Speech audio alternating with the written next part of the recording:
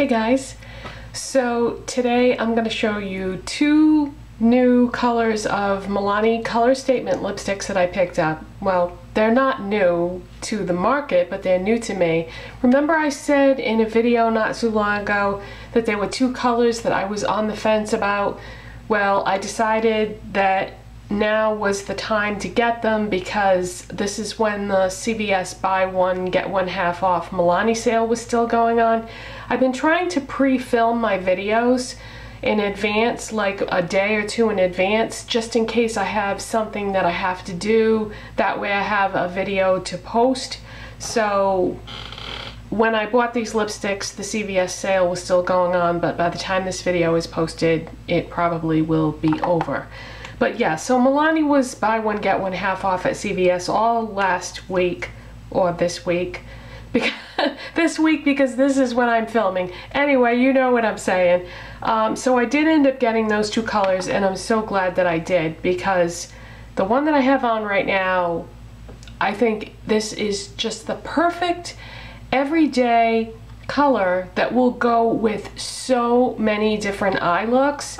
Um, a lot of times I love certain lipstick colors, but then the eye look doesn't look quite right with the lipstick. I'm sure you know what I'm saying. I'm sure you've had that problem.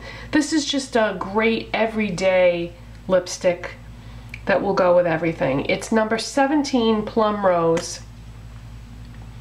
And that is what it looks like. That is what I have on my lips. And I know I said that I have a lot of MAC colors that are very similar to this, but this is a pretty bold statement, you guys, and I absolutely mean it, but I think I like these lipsticks better than my MAC lipsticks. I know that sounds crazy because, you know, MAC has a really good reputation for having good quality lipsticks, and they do, but these go on so perfect every time. I haven't had a dud yet. I keep trying new colors and just the way they apply. To me, the mark of a good lipstick is when you're done, do you want to put a gloss on top of that lipstick? Because if you do, then it's really not a good lipstick. A good lipstick should go on beautifully, not dry out your lips, and doesn't need a topper. Sometimes um, MAC lipsticks don't always give you the moisture that you need. Sometimes they can be a bit drying and I don't just mean the matte ones, I mean some of the other formulas too or they some of the formulas don't show up that well and you almost feel like you have to put a gloss on it just to give it more color. These are perfection. I can't believe that I only am just trying them now. These Milani Color Statement lipsticks are amazing and I just am so glad that I've gotten all the colors that I have while I could get them buy one get one half off at CVS. So I got this plum rose. Oh, do you want did you want me to swatch that on my hand even though even though I'm wearing it on my face? Why not? Let's do a swatch anyway. So yeah, that's just that perfect for me, it's a My Lips But Better color. It just really intensifies the color that my lips already are. So it's just a wonderful, the plum rose is an excellent description of the color. And then the other one that I was on the fence about that I ended up getting is Rose Hip number 14. And that is what this looks like. And this is a really bright, wham in your face, bright pink and I've heard some people say this is a dupe for Candy Yum Yum. I've heard some people say this is a dupe for Pink Nouveau by MAC, both MAC lipsticks, but don't even care because, like I said, I, I like these better than MAC lipsticks. Um, I can't even believe it. And for the price, you know, they're a third of the price. So let's watch this. I haven't used this one yet because I just got these. So yeah, this is just a really bright blue-based pink lipstick. And it looks like it's got a little bit of shine to it.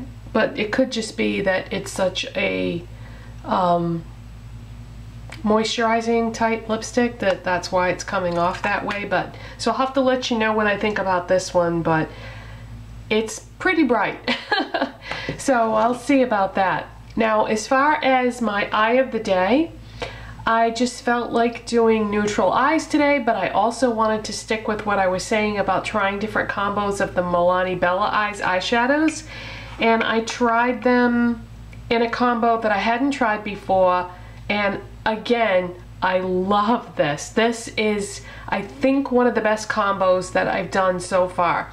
Let me just lean in a little bit and close my eyes so you can get a better look at the colors before I describe them. Yeah, I love, love this combo. For my highlight, I used Bella Chiffon, and this is just an off-white highlight shade. That's what that looks like. I think the reason why I like this chiffon so much as a highlight is because it's not your typical off-white highlight shade. It seems to be brighter. It's got it's got some gold in it. So it's just, you know, it's kind of unique. And then on my lids I have Bella Sand, which looks like that. And this is pretty much a gold color. I mean, it's called sand, so sand is a golden color. So that's what I have on my lids. And it's funny because I, a lot of times I don't look good in golds, but this, this is a gold that seems to work for me for whatever reason. And then in my crease I have espresso.